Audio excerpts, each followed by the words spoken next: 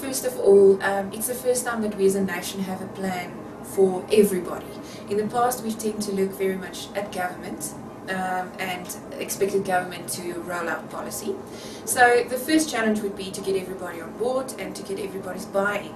I know there's been processes underway, but it's really a plan for, for um, every single South African citizen, every single South African business, and the government. Um, then secondly, of course, we are currently in an economic environment where funding is a challenge. So um, it would be a challenge for us to actually get the um, necessary funding in place to roll out this plan. Um, it is an ambitious plan, uh, but it is something that we would really like to achieve. So securing the necessary funding is, is, a, is a very important step. The next challenge would be for us to prioritize which actions we should undertake first.